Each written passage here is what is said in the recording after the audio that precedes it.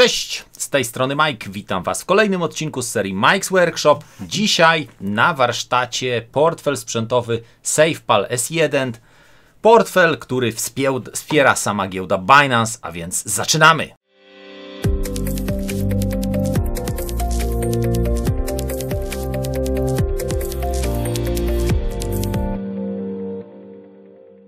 Tak jak wspomniałem w tytule, Dzisiaj SafePal. Słuchajcie, zamówiłem sobie takiego SafePala już dosyć dawno temu. Dostałem taki portfel i teraz pora Wam zaprezentować. Od razu mówię, portfel przeznaczony do telefonów komórkowych. Nie będzie działał z komputerem PC. Jeśli chodzi o same pudełko, to tutaj zobaczcie, macie e, tutaj macie zabezpieczenie holograficzne, także nie otworzycie tego bez zerwania. E, cóż można tu przeczytać? SafePal S1, portfel sprzętowy kryptowalutowy bardzo wysoko kompatybilny ze smartfonami Android 5.0, iOS 7.0 i oczywiście modelami wyższymi. Wbudowany, zaawansowany system, technologia zaawansowana, technologia bezpieczeństwa, ponad 10 tysięcy kryptowalut na jednym urządzeniu. Powiem szczerze, nawet nie wiedziałem, że jest aż tyle. E, więcej informacji na safepal.io, wyprodukowany w Chinach, a gdzieżby inaczej. Jest kod QR od rasu do pobrania aplikacji. I teraz tak, słuchajcie, to pudełeczko ma jedną zasadniczą wadę. Nie da się go w prosty sposób otworzyć. One tu wchodzi aż w środek. Tu jest zalepione to, co mówiłem, zalepiony hologram. No i generalnie rzecz biorąc, żeby je otworzyć, trzeba je tak trochę potrząchnąć i wtedy to otwieramy. Dosyć solidna konstrukcja, to trzeba jasno powiedzieć. W środku znajdziemy portfel sprzętowy. To jest nasz portfel sprzętowy, tak wygląda ten SafePal. Ma maleńki wyświetlacz, żeby sprawdzić, wiecie co, jakiej wielkości jest ten wyświetlacz. E, to powiem Wam szczerze, że ten wyświetlacz, przynajmniej tutaj w rogu, wydaje mi się, że to jest, Wy tego nie, niespecjalnie to widzicie tutaj. E, o, tu przez chwilę było widać. Wyświetlacz, słuchajcie, ma przekątną 3 30, 34 mm. To będzie tam cal z czymś pewnie, nie? 2,54 cal. Będzie 1,5 cala wyświetlacz. E, klawiatura do sterowania i z tyłu oczywiście aparat, jak żeby inaczej. Co jeszcze dostajemy w komplecie oprócz SafePala? Dostajemy oczywiście kabel USB, zwykły, te, zwykły ten mikro czy mini USB. E, oczywiście no, aktualizować firmware trzeba, wpina się go tu od spodu, tu nie pokazałem Wam tego. Od spodu jest gniazdo USB do tego portfela. Fajnie to wszystko przygotowane w gąbce, gąbkę się oczywiście wyciąga. Cóż jeszcze dostajemy w komplecie? Dostajemy, słuchajcie, tak, dostajemy szmatkę do czyszczenia tego ekranu dostajemy dwie, nakla dwie naklejki od SafePala, dostajemy kartę do zapisywania naszego SIDA, czyli naszych słów, 24 słów, więc najprawdopodobniej SafePal, dostajemy trzy sztuki tego. I oczywiście dostajemy też instrukcję użytkownika, która mówi ni mniej, ni więcej tyle. E, pobierz sobie SafePal App, możesz zeskanować kod QR, a User Manual i oczywiście są wszystkie linki user manual, drugi kod, ten tutaj. Oczywiście są SafePal.io, jest mail support małpa SafePal.io, wszystkie linki oczywiście wkleję Wam pod spodem. Oficjalny Twitter e, małpa safe, iSafePal i SafePal Wallet na Telegramie. Wszystkie informacje, które są tam na potrzebne. No i co, pozostaje mi oczywiście pobrać, pobrać aplikację, bo wydaje mi się, że będę musiał pobrać aplikację i teraz tak się zastanawiam, czy będę musiał SafePala podłączyć pod telefon, czy będę musiał, tu będę miał problem w takim wypadku, bo jak pokazywać wtedy obraz?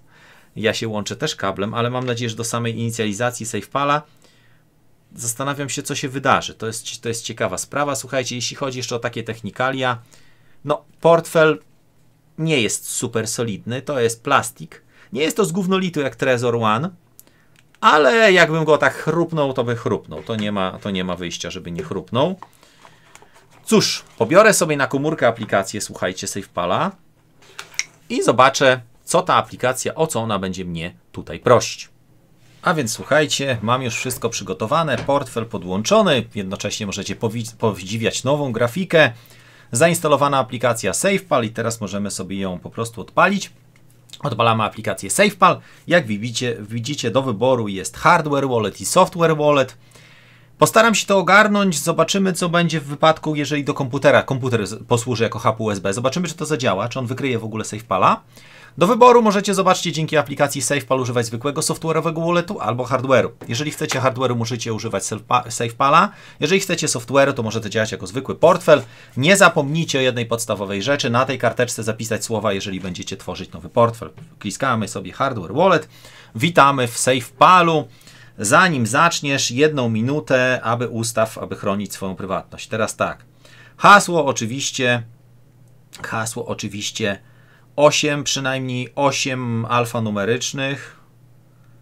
Zobaczymy, co tu, co tu będzie. Aha, czyli on tutaj nam, czyli on tutaj nam prosi o, prosi o znaki, minimum 8 znaków alfanumerycznych i musimy potwierdzić hasło. No z oczywistych względów nie będę Wam tego pokazywał, bo on pokazuje ostatnią, ostatnią cyferkę. Musicie także zatwierdzić, yy, zatwierdzić oczywiście, że hasło jest tutaj zaawansowanym hasłem, ustaw jak na trudniejsze, silne i tak dalej. Tak, wyślij. Aha, powinno zawierać powinno zawierać zarówno cyfry, jak i litery, czyli same, sam kod PIN tutaj się nie pojawi, więc muszę to teraz, muszę to teraz poprawić. Poprawiłem hasło, zobaczymy czy teraz przejdzie. Tak, tutaj możemy sobie hasło do blokowania, ta sama ciekawe czy będzie widać.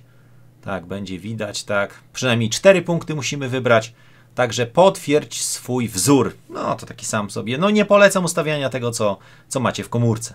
Ustawiłem już oczywiście swój wzór. E, congratulations, teraz już możesz rozpocząć swoją. I zobaczcie, SafeFile nie będzie przechowywał Twojego hasła, pinu, prywatnych kluczy ani mnemonic phrase. E, zwróć się, rozpocznij swoją, rozpocznij swoją przygodę z SafePalem. No i dobra, SafePala mam, wciskam sobie hardware wallet i teraz zobaczcie. Najpierw musicie upewnić się, że wallet jest aktywowany, i konto jest ustawione na urządzeniu. Aktywacja portfela, od tego możemy zacząć. E, na głównej stronie naciśnij skan e, w głównym rogu i tutaj tak i podaj sześciocyfrowy, sześciocyfrowy kont. Weźmiemy Learn More, zobaczymy co tutaj będzie. Mm, tu jest oczywiście support się otwara. E, ustaw swojego SafePala. Aha, czyli generalnie rzecz biorąc, press OK button, czyli jest cała, cała jest instrukcja w trzech krokach, jak to zrobić. Uruchom swojego SafePala, e, więc żeby uruchomić SafePala, ja go po prostu zastanawiam się, jest tutaj, czy on jest włącznik tutaj. Zastanawiam się, czy muszę go podłączyć, czy on nie jest, czy on nie jest tutaj tak, czyli pewnie będę musiał go podłączyć. Podłączę go sobie może nie na tym kablu, bo on jest strasznie krótki. Może wezmę sobie drugi kabel. Najlepiej jest używać, pamiętajcie, oryginalnych kabli. Najlepiej jest używać oryginalnych kabli, ale można też czasami skorzystać z kabla nieoryginalnego. To nie jest jakiś ogromny problem. Dobra, podłączyłem SafePala. E, zapalił mi się tutaj na SafePalu, zapalił mi się SafePal i teraz wybieramy język. Do wyboru są, z tego co widzę, tak, e, jest pewnie język chiński, jest mandaryński, jest koreański, z tego co widzę, japoński, angielski, niemiecki, francuski, hiszpański, włoski i coś tam jeszcze. Wybieramy sobie język angielski i teraz, aby upewnić się, że że tutaj jest to urządzenie, to zeskanuj ten kod ze swoim telefonem, tak? Czyli muszę zeskanować, zeskanować swoim telefonem kod. Czyli hardware wallet, Aktywacja generalnie wygląda tak. Na portfelu wyświetla się e, kod QR, który musimy zeskanować komórką. Musimy wpisać oczywiście sześciocyfrowy kod, który wyświetla się na, ten, na tym portfelu. Ten kod ja tutaj oczywiście za chwilę podam i później trzeba zeskanować w drugą stronę. Tak wygląda aktywacja, czyli na początku uruchamiacie, wyświetla się Wam kod QR, uruchamiacie na komórce, skanujecie kod QR i tak dalej. Słuchajcie, kolejną rzeczą, którą chcę Wam tutaj pokazać, to jest aktualizacja firmware'u. Jeżeli wejdziemy sobie na stronę SafePala i wejdziemy sobie do opcji Upgrade, to tu trzeba wpisać numer seryjny i możecie pobrać nowy firmware. Ja próbowałem na portfelu dodać Binance Coina i okazało się, że mój firmware jest zbyt stary. Ten portfel został kupiony z dwa miesiące temu, więc już jest nowy firmware, który aktualizuje nowe rzeczy. Pamiętajcie o tym, że dobrze jest mieć, dobrze jest mieć yy, firmware najnowszy. Pamiętajcie też o tym, żeby zapisywać te słowa. Bez tego nic z tego nie będzie. Ja sobie teraz pozwolę wpisać, e, pozwolę sobie wpisać ten, e, ten e, numer seryjny, e, pobrać wersję firmware'u i zaktualizować. Jeżeli chcecie, jeżeli chcecie oczywiście pobrać ten nowy firmware, bo to jest, e, to jest dosyć, e, dosyć ważne, to wchodzicie sobie tu, tu, tutaj w settings, czyli ustawienia i wchodzicie sobie w opcję na samym dole About i on Wam pokazuje numer firmowy. Dobra, ja pobiorę ten, ten numer seryjny, pobiorę firmware, zaktualizuję firmware, powiem Wam, co się zmieniło. Słuchajcie, pobiera nam się po wpisaniu, muszę wyłączyć, o tu się zrobiło, dobra, muszę ustawić jeszcze e, sleep time, to muszę ustawić na więcej, a auto off ustawię po dwóch minutach. Za szybko się to wyłącza. Słuchajcie, później wchodzimy sobie w e, opcję upgrade. On oczywiście pyta Cię, czy masz zapisane, e, czy masz zapisane sobie tutaj swoje słowa. To jest najważniejsza rzecz przy jakichkolwiek robieniu upgrade'ów. Tak, mam zapisane, tak. Teraz e, pobierz nową wersję, to już mam. Wchodzimy w opcję upgrade'u. E, połącz S1 ze swoim komputerem, aby skopiować. Tak, upgrade'uj. No firmware detected. E, change the file, do not change the file name e, to your bin. No, to jest ciekawa sprawa. No dobrze, ja mam to połączone z komputerem i zastanawiam się tylko, dlaczego on mi tego nie. Dlaczego on mi tego i gdzie on mi to zapisał, to za, przede wszystkim zobaczmy. Eee, gdzie jest ten upgrade bin? Jest. Może to sobie skopiuję na C, na dysk C, może on tylko C widzi. A być może. Tak, mam uprawnienia. I teraz zobaczmy jeszcze raz. Upgrade. No firmware detected. Być może on wykrywa z jakiegoś powodu komórkę. Jeszcze raz spróbujemy. Upgrade. No firmware detected. To jest ciekawa sprawa. Quit upgrade mode. Jeszcze raz. Upgrade. Tak, zrobiłem kopię zapasową. Enter upgrade mode. Upgrade. No, powiem Wam szczerze. Połącz swoje, swoje ze swoim komputerem i skopiuj. Aha, już wiem. w momencie, gdy macie podłączony, mm, postaram się Wam to pokazać. W momencie, gdy, gdy macie podłączony ten S1, e, macie podłączony jako urządzenie, to on powinien Wam się pojawić tutaj gdzieś w urządzeniach. Tak mi się przynajmniej wydaje. Odłączę zasilanie. Podłączę go jeszcze raz. Chociaż widzę, że coś mój kabel USB nie domaga. No dobra, to weźmiemy sobie drugi kabel USB, to o czym mówiłem. Nie wszystkie kable USB działają. Nie wszystkie są kompatybilne. Nie chce mi się brać tego oryginalnego. Zobaczymy, może on działa tylko na oryginalnym. Dobra, Wykrył mi urządzenie, słuchajcie, i od razu już Wam to pokazuję. E, już Wam to pokazuję. Wykrył mi urządzenie i pojawił się tutaj wallet. No i tutaj teraz do tego, do tego folderu musimy sobie skopiować ten upgrade bin. I zasadniczo to podejrzewam, że to by było wszystko, więc możemy sobie odpiąć już od komputera.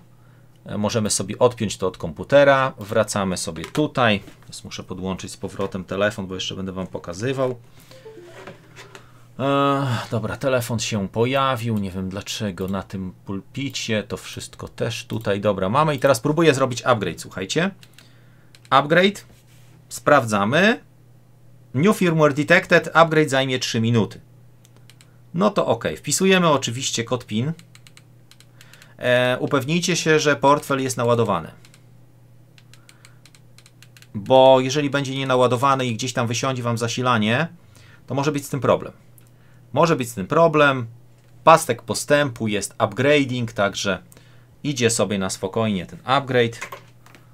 Wygląda na to, że ten kabel USB jest jakiś trafiony. Tak, coś z tym kablem USB jest nie tak. Coś z tym kablem USB jest nie tak, także za chwilę sprawdzimy. Podłączę ten, niech się, niech się ładuje. Słuchajcie, firmware został zaktualizowany. Odłączę, pokażę Wam. Zacznij używać. Tak, firmware jest wersja. Oczywiście, jak to każdy portfel się palcuje, ale żeby unikać palcowania, macie tutaj gdzieś w komplecie szmatkę. Nie będę je teraz wyciągnął. Start to use OK. Oczywiście po raz kolejny PIN. E, troszeczkę denerwujące jest to, że zmusza Was zmusza Was do tego, że musi być sześciocyfrowy PIN. Ja to z jednej strony rozumiem, no i portfel jest gotowy do użytku. Słuchajcie, macie wyboru cztery opcje. Pierwsza opcja scan, w prawo klawiszem zarządzanie środkami, e, kolejne e, pod, historia podpisywania, czyli macie historię transakcji i oczywiście ustawienia. E, tu są wszystkie ustawienia. No teraz muszę sobie oczywiście przejść do e, przejść do tego naszego e, On nam nie... Aha, już widzi nam to urządzenie. Ok, tylko dlaczego się tutaj nie połączył? Dlaczego on tego nie... E... Muszę to zamknąć i jeszcze raz połączyć. Dobra. Czy mam urządzenie? Tak, mam swoją komórkę podłączoną. Mm, portfel podłączony. Przechodzimy sobie do widoku komórki. Widać, widać, ok. Portfel podłączony i teraz spróbujemy, słuchajcie, dodać ten nowy mm, Binance Smart Chain, tak, BNB, dodać coina. No i teraz muszę zeskanować oczywiście swój kod. Zobaczmy, jak to długo. To jest tryb uśpienia. Ten tryb uśpienia powinien tak wychodzić, a nie, chyba że on się w ogóle już wyłącza, nie? Być może się wyłączył, zeskanuj. E, to, co zauważyłem, co jest bardzo mylące, no i co dalej? Żeby się skończyło. Prąd się skończył w urządzeniu? No chyba nie. Tak, skończył się prąd z urządzenia. Słuchajcie, ekran jest z prawej strony urządzenia, a e, kamera jest z lewej. I generalnie jest to takie, dobra, skanujemy jeszcze raz i to jest mylące, bo wycelujecie tym ekranem. Dobra, 3, 70, 3, 5, 8, 0, 0, 3, 2, 1, 2, 6, 0, nie? I teraz oczywiście musimy zeskanować w drugą stronę. Skanujemy sobie portfelem. Dodane zostało, dodane zostało oczywiście Kolejne aktywo i teraz zobaczmy, czy mogę wziąć airdrop. Czy mogę wziąć airdrop? Per per wallet claim. Claim for free. O, słuchajcie, zobaczcie. Wow, claim. E, I teraz e, zasłapować i teraz to już sklejmowa i musicie zesłapować jeszcze. Jednocześnie e, tutaj możecie dołączyć do Twittera, najróżniejsze rzeczy, zobaczcie tutaj jakieś udziały, jakieś, a takie najróżniejsze rzeczy możecie tutaj sobie brać udział. My Rewards. Możecie podzielić się swoim linkiem, czyli jeżeli zrobimy share, to oczywiście możemy się podzielić swoim linkiem. Zezwól aplikacji na dostęp. To nie jest w pełni. No i teraz możemy z kimś tam się podzielić, z kimś tam się podzielić swoimi, swoimi środkami. Dobra, słuchajcie, zasadniczo e, to chyba by było tyle. Zasadniczo to chyba by było tyle. Wydaje mi się. E, portfel jak portfel, no cóż mogę powiedzieć. E, portfel dosyć prosty w użytku. Odłączę go. E, jedyny, jedyna wada, którą ja tutaj widzę, to jest to, że ekran jest z tej strony, a kamera jest z tej strony. Czyli ekran macie tu, kamerę macie tu. I odruchowo skanujecie ekranem, a kamera jest tutaj. To jest moim zdaniem jedyna wada tego portfela. Portfel przeznaczony, druga wada, no oczywiście, żeby nie było. Portfel przeznaczony tylko i wyłącznie do telefonów komórkowych. Tylko i wyłącznie. Jeżeli, e, jeżeli chcecie go używać z PC-tem, no to niestety. Nie ma takiej możliwości. Dla mnie to jest wada. Ja wolę z PC-tem używać. Portfel stosunkowo. Tak, portfel wspierany przez Binance. Binance wspiera ten portfel. To nie, oni nie ukrywają, że wspierają firmę SafePal. E, na razie firma SafePal ma tylko jeden model, może przejdziemy sobie teraz na ich, e, na ich stronę. Z tego co wiem, to oni mają jeden model tylko u siebie. E, SafePal Hardware Wallet, Cypher Seed Board, zobaczcie. Czyli macie coś takiego, teraz jest jakaś promocja, darmowa dostawa dla dwóch produktów, czyli możecie kupić tą taką kasetę do wybijania. Ja sobie ten kabelek zwinę. Kasetę do wybijania E, no i oczywiście mają jeszcze, to jest ciekawa sprawa, do kieszeni, do kieszeni, żeby sobie portfel sprzętowy nosić. No, noszenie portfela sprzętowego jest dosyć kontrowersyjnym tematem, tak bym naj, najlżej mówiąc, kontrowersyjny temat. No ale jak ktoś chce, można użyć takiego SafePala jako portfela podręcznego, nie? Portfel podręczny, ja Wam to może pokażę. Eee, jeszcze raz produkty. E, dobra, pięknie, ładnie. Produkty, dlaczego mi się to nie. Coś ta strona jest niedopracowana. Produkt, tu jest umiani leather case. Czyli macie takie opakowanie skórzane, dosyć ciekawe. Ja tego nie brałem. 10, e, dola 10 dolarów to kosztuje, 40 zł, no to może zależy z jakiej skóry, czy to jest świnioskóra, czy jakaś gównoskóra. E, hardware wallet kosztuje 40 dolarów, więc jest stosunkowo tani, teraz jest przecena oczywiście z 60. no to jest to taniej chyba niż Leisure i niż Trezor. Możecie oczywiście kupić sobie pakiet. E, a teraz jeśli chodzi o produkty, to ten Cypher Seedboard to kosztuje 50 dolców. No, to już jest bardzo kontrowersyjne. To już zastanawiam się, czy jest sens w ogóle sobie tym głowę zawracać. E, cóż mogę jeszcze powiedzieć? No, portfel mi się podoba, muszę przyznać. E, portfel mi się podoba. Może nie jest to taki, słuchajcie, kombajn jak Elipal. Czy ja mam tutaj tego Elipala, czy mam go w innym... Tak, nie jest może aż takie, no Elipal jeśli chodzi o jakość wykonania, oczywiście Gold Titan metalowy Elipal 1500 razy lepszy, jeśli chodzi o jakość wykonania, to trzeba jasno powiedzieć, ale jednak cena zdecydowanie, e, zdecydowanie mniejsza. Do czego, do czego polecałbym ten portfel? Jako portfel podręczny. Jeżeli używacie kryptowalut, chcecie nimi płacić, to jest taki portfel podręczny, którym, którym możecie tutaj gdzieś go zabrać do kieszeni i tak dalej, i tak dalej. Na pewno jest to bezpieczniejsze, bo jak macie portfel w jednej kieszeni, komórkę w drugiej, to nawet jak wam ktoś buchnie komórkę, to oczywiście nikt wam tam, nic wam się specjalnie nie stanie bez portfela sprzętowego, niestety. I pamiętajcie na sam koniec, kolejna sprawa. Nigdy, przenigdy nie wpiszujemy swoich słów na żadnym oprogramowaniu. W żadnej przeglądarce, nigdzie. Pod, po słowa wpisujemy tylko i wyłącznie, i to podkreślę jeszcze raz, tylko i wyłącznie z poziomu portfela sprzętowego i samego urządzenia. Nigdy, nigdzie, przenigdzie w żadnej przeglądarce, oprogramowaniu itd. Tak to jest najważniejsza rzecz. Utracicie słowa, można wygenerować dzięki słowom klucz prywatny, utracicie wszystkie zalety portfela sprzętowego. Wszystko, jeśli macie pytania, piszcie w komentarzach, piszcie maile, łapka w górę, jeżeli się podobało. Jeżeli ktoś ma ochotę, kogoś to przekonało, ktoś ma ochotę zakupić, nie jest to film sponsorowany, żeby nie było, to oczywiście mój link, zawsze tam parę grosiaków wpadnie, jeżeli ktoś ma ochotę kupić taki portfel. Jeżeli trzeba w jakimś stopniu pomóc, to oczywiście ja zawsze chętnie pomogę, czyli pamiętajcie, upgrade firmware'a, inicjalizacja portfela, instalacja aplikacji, bo bez aplikacji daleko nie pojedziecie i zasadniczo to jest tyle. Ja już się z Wami żegnam. Pozdrawiam Was wszystkich, trzymajcie się i do następnego razu.